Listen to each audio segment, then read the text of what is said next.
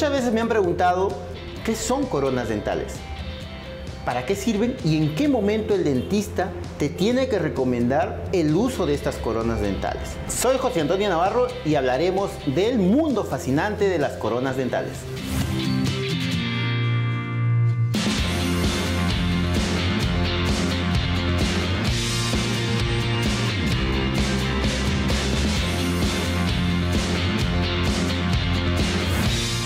Las coronas dentales son aditamentos artificiales los cuales van a proteger, mejorar la función y estética de tus dientes. ¿En qué casos el dentista te recomienda usar coronas dentales? Cuando tus dientes se han fracturado por comer comidas duras en algún momento, por algún golpe, por algún traumatismo. Si estos dientes han perdido estructura dental, lo ideal es poner coronas dentales. Cuando tus dientes tienen muchas caries y han sido eh, ya curados y recurados por múltiples zonas, lo recomendable es poner coronas dentales. Cuando tenemos pacientes con bruxismo, en el cual ha habido amplia pérdida de estructura dental, para devolverle la estructura y función, tenemos que usar coronas dentales. De lo anteriormente hablado, eh, las coronas en todos esos casos las podemos poner sobre dientes pero también podemos ponerla sobre nuestros implantes dentales y la cual homogeniza o da alta estética y función a todos nuestros dientes para que no haya diferencia entre el implante dental y los dientes naturales. Entre los materiales que mejor resultado han mostrado en las coronas dentales tenemos el circonio, el disilicato de litio y la tradicional porcelana. ¿Cuál es el, material eh, más estético? Comúnmente siempre hacemos evaluación sobre translucidez, color, forma, tamaño del diente, en base también a nuestra cara, nuestro rostro, ¿no? Entonces, una vez hecho eso, el dentista escogerá el mejor material para ti, que puede ser en cualquiera de estos tres materiales que ya te he mencionado.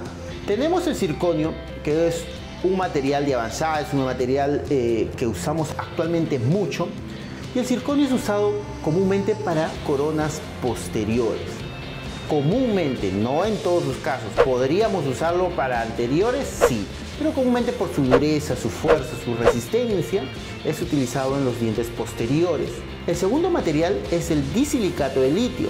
Es un material un poco menos resistente que el circonio y es usado en los dientes anteriores por su alta estética porque se puede combinar con la porcelana feldespática.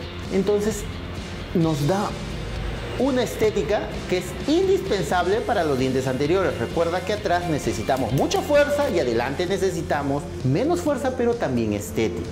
Y el material tradicional son las coronas de porcelana clásica, la cual son estéticas pero su punto en contra es que todavía se combinan con un metal por dentro este metal por dentro muchas veces nos da un hilo o un halo eh, oscuro con el pasar de los tiempos alrededor del encino. De todas maneras, siempre el dentista tendrá la última opción para explicarte y decirte qué material usar para tu caso especial. Para hacer una corona dental en el diente necesariamente se tiene que tallar el diente.